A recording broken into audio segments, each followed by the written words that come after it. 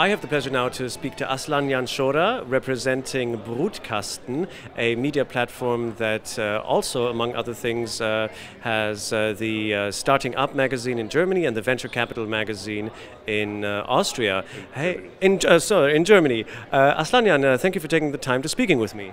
Thank you very much as well. So, uh, you guys are the exclusive media partner of uh, Vienna Up, which is a series of different events uh, on innovation and, and, and digital um, innovation in, in Vienna. Um, how's it going so far?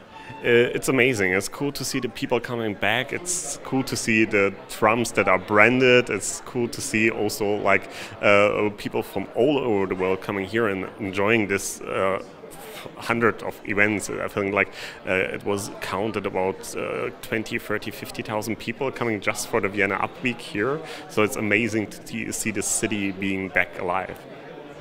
It's a really awesome atmosphere. I've uh, noticed it during a walk yesterday. Um, it's electric. Um, now is the time to innovate. A lot of people are looking to the future. Also, Vienna is uh, looking at being emissions free um, uh, in the near future.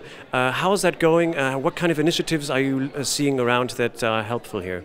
Yeah, so I moved to Vienna in 2019, and the first thing that uh, was surprisingly for me was like uh, paying a yearly ticket for the uh, public transportation that cost you one euro per day. So this was like amazing already, and now they started with a climate ticket. So you have like uh, 1,100 uh, euro, and you can travel with all the public transportations all around Austria uh, just by paying this one ticket. It helps a lot of people, and also there are a lot of learnings because the tram is full full, the uh, buses are full, the, uh, the, the train is full. So they are really trying to see how can we develop, and they're getting new contracts with new trains. So always looking for different uh, options, and there are like interesting car sharing companies coming out of Vienna. For example, eLoop that is like uh, just working with Tesla, so it's all electric. And this is also inspired by the government in Austria, who's also having car sharings for people who are traveling here just with uh, Tesla.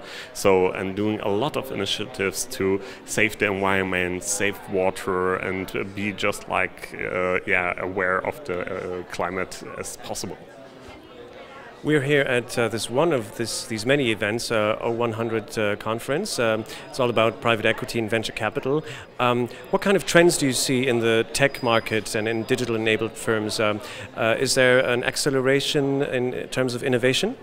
Yes, yes, definitely. Um, like for example, in our company Brutkasten, we have different verticals on different topics. There was like startups as always fin finance, but we have a new vertical called Earth, and this is like one of the biggest growing of us. We got the SDG award for sustainability, and these are the trends. A lot of investors are looking where can we like invest that is sustainable, that uh, is like looking in the future, or like like 30, 40 years uh, uh, ahead.